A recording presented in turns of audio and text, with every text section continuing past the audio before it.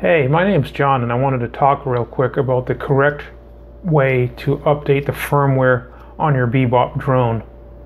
Every time Parrot releases a new update to the Bebop firmware, a lot of people on the online forums and whatnot complain about there being problems and issues and various bugs, and that the firmware is not good and it has issues.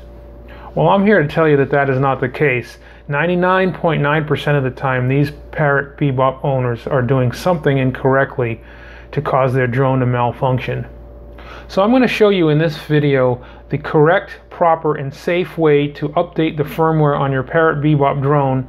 That way you'll avoid and prevent any possible software-related issues during setup, pre-flight, and also during flight of the drone. Okay, so the first thing I'm going to do is go into the app manager in my phone. This is obviously found in my settings, application manager.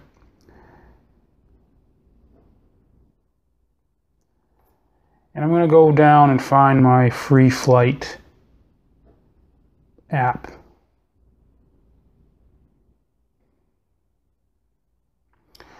I'm going to go into where it says storage. I'm going to go, this may vary from one model phone to another. I'm doing this on a Samsung Galaxy S5. So as you can see here, it's got some cached data. I'm going to clear the cache and I'm also going to delete any of the saved data in the app. So now that's done, I'm going to exit out of there. And if you use any other piloting app, I often use this one here called AR Pro 3. I'm going to go ahead and do that as well. Delete. And that's all we're going to do with the phone for now. Okay, the next thing you want to do is just simply check the App Store to make sure you have the latest and most recent version of the Free Flight app.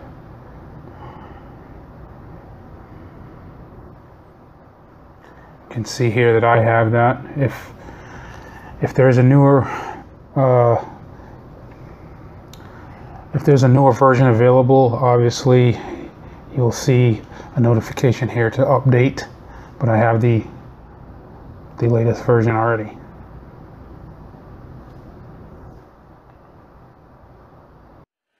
Okay, the next thing I'm going to do is simply power on the drone and give it a moment to boot up.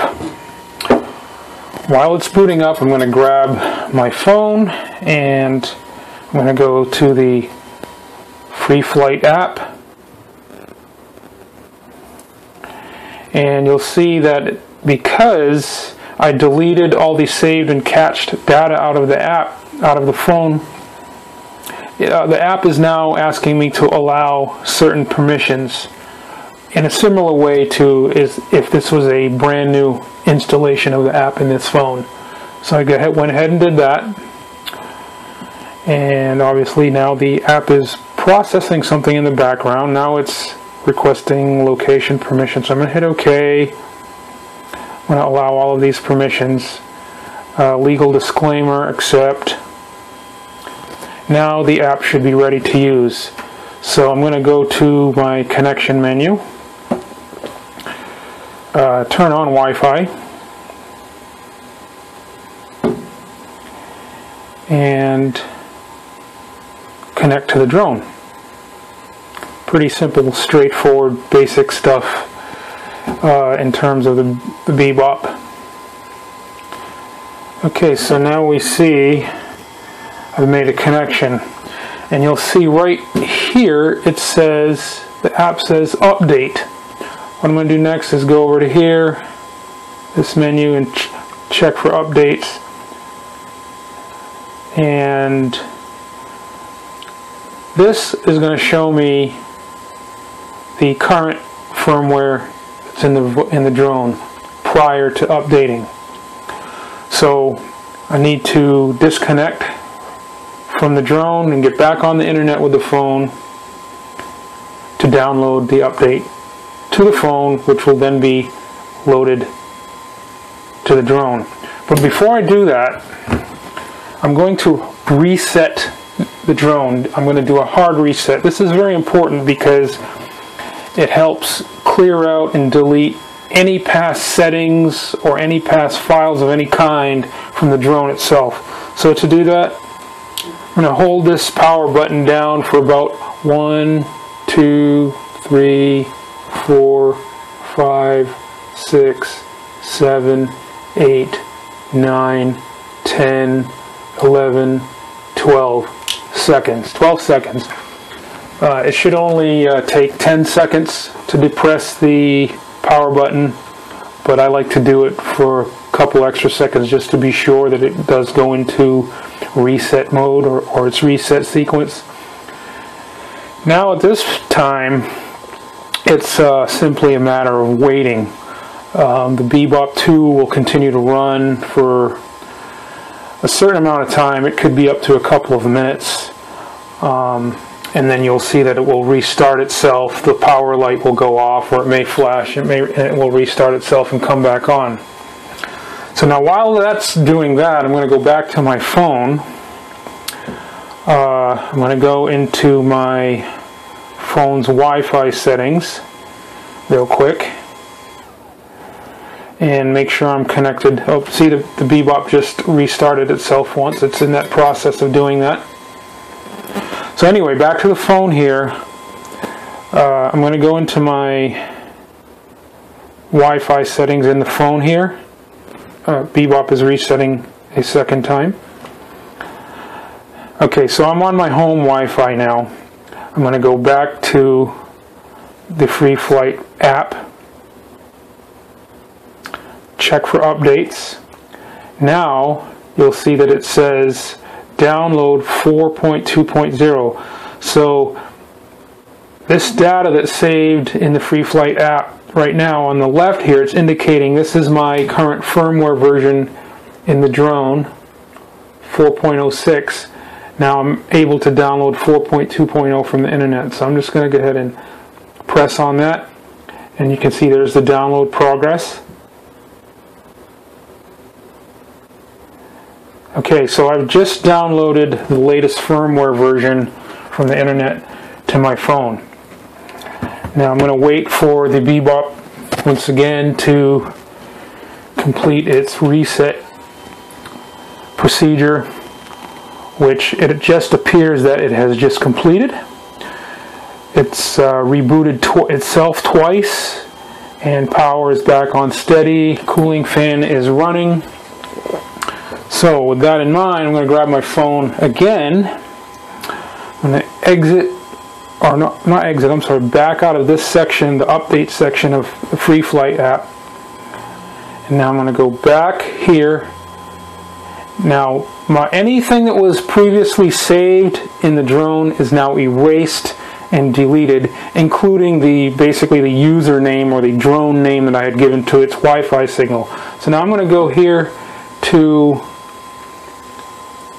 this is the Bebop with its default uh, number and I'm going to connect to that.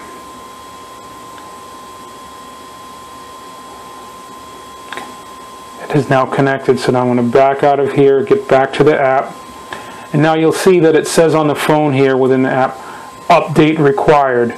Your device needs to be updated so I just hit OK that takes me directly to the update section of the app. I'm going to install 4.2.0. So again, from the left here, you'll see this is the current firmware version in the drone. And you'll notice that the little drone icon is red. And that's kind of an alert or a warning, even maybe a warning or an alert notification that the drone needs to be updated. Now I'm going to go over here and just click this now it's updating or transferring the update files from my phone to the drone and this is basically giving you a status or a progress indicator. So we'll sit back a moment and let that take place.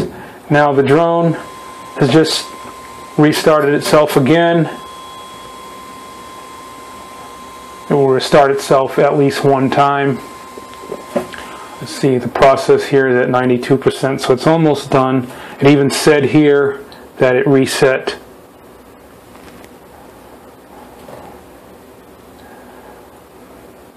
And now that just changed. It says update in progress. And the drone has restarted itself yet again. The phone still says update in progress.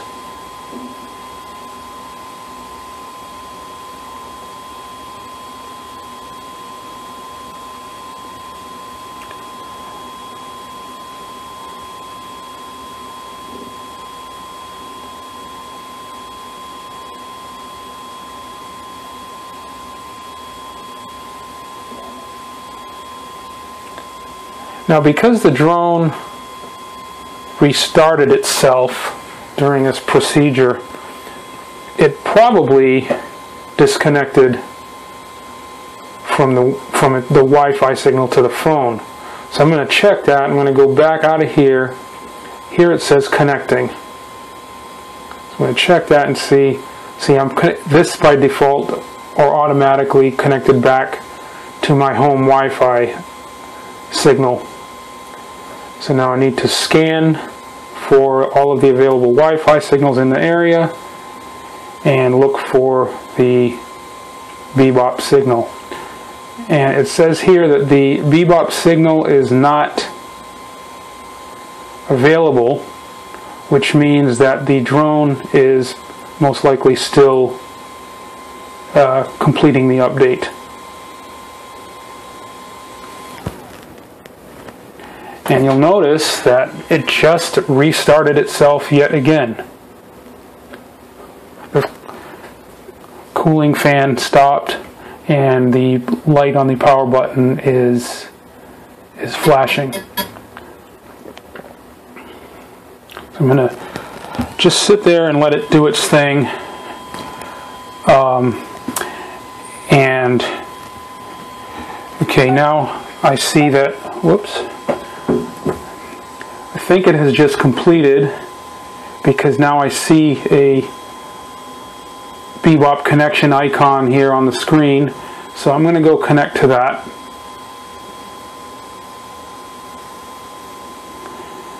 And I'm going to back out of here. It says I'm connected.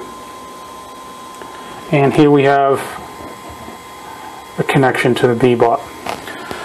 So we are almost finished here, but not quite. Now that the update itself has been completed, and we can confirm this by going back here and go to the check the update, you'll see here that although this shows still shows red, I don't know if you can see that. Can't focus very well. The current software version confirmed here that it is 4.2.0 and on the right hand side over here it does say up to date.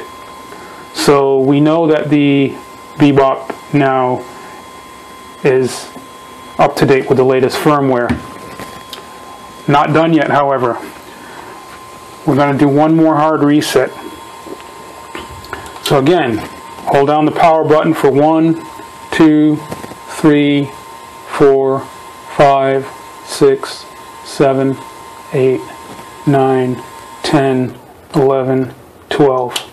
And you'll, you'll see that the, the cooling fan, I'm not sure if you can hear that, the cooling fan just stopped so the, the reset uh, sequence has just been started. The purpose for doing this, again, is to clear out and delete any old or unwanted files that could tamper with or hamper the operation of the Bebop after the update. It's very important to do this. So I'm going to let it sit there and I'll be back when the update procedure has been completed. So there you have it. If you follow this firmware update procedure that I've outlined in this video, you will eliminate any software related issues during pre-flight, setup, and also flight of your Bebop drone. And if you follow the best practices while flying, should, there should be no reason why you should have any problems or issues with your drone at all.